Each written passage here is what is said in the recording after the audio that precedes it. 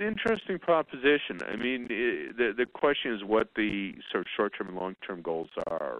Um, I think it could be a great way to call attention to to, to the issue. You know that uh, students do have to take on so much debt to to get through school.